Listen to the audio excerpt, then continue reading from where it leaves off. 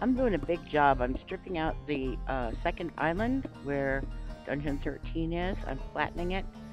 And I decided to fool around with my mouse buttons.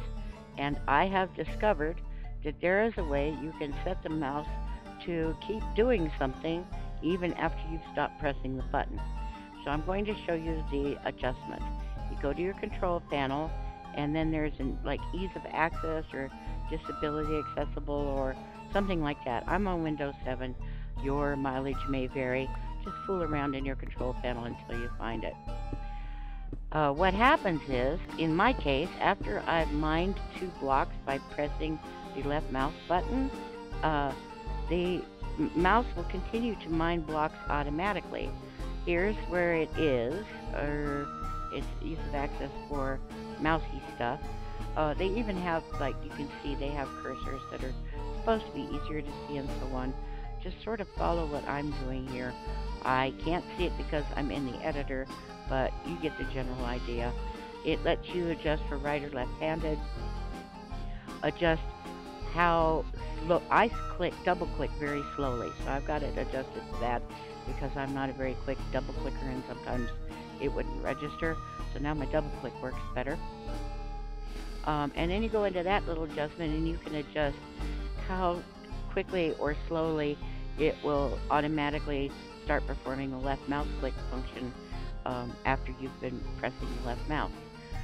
So the way it works for me is I, in the case of sandstone here, I mine about two blocks and um, I'll show you better mouse cursors later, but these are if you want really big ones so you can see them easily.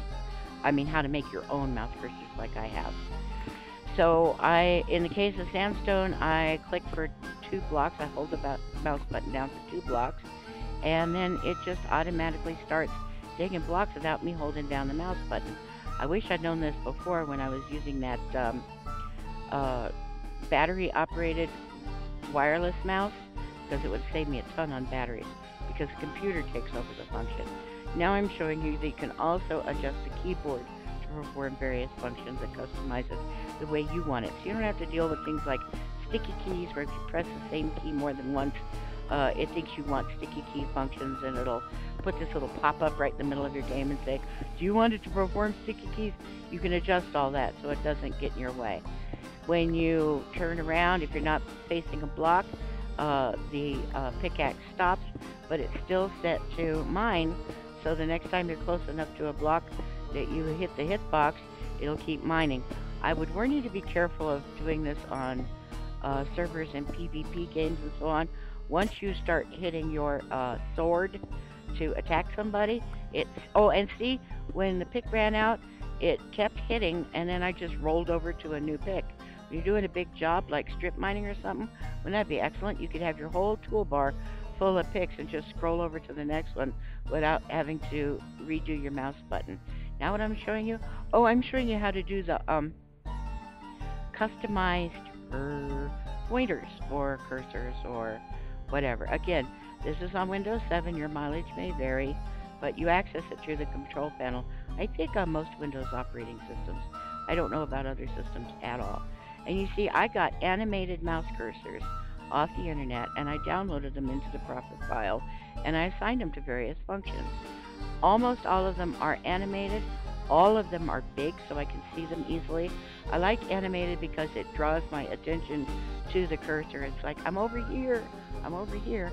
Plus, they're really cute. Be careful when you download cursors. Make sure the site, use Web of Trust or another um, uh, function on your uh, browser Web of Trust will let you know if the site is trustworthy or not. Now you see I've customized this uh, cursor selection, pointer selection, so that I can choose to either use it or one of the other ones. Like another user on my computer could, doesn't have to use little pink cats wagging their tails. You know what I mean?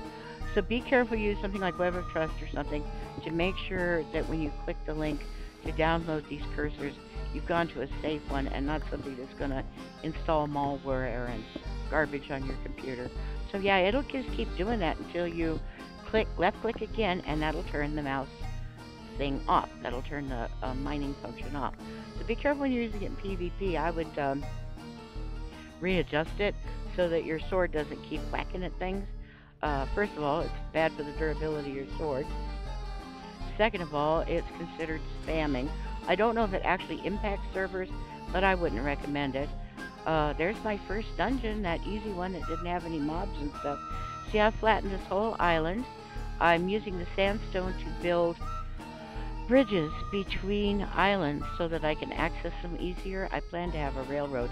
I would like to keep this house as my house because it's away from the cooties and the cootie spawn. I did build, this is called a, I think it's called a honey pot. The uh, uh, uh, cooties don't have any other good place to spawn, so perhaps they will spawn in that box. And over there where I'm mining, I'm going to build another one too. I used half slabs all over this so the cooties can't spawn on my house. There is a block of sandstone on top of each tree with a torch on it so spiders can't spawn up there. So this is pretty much a cootie safe area.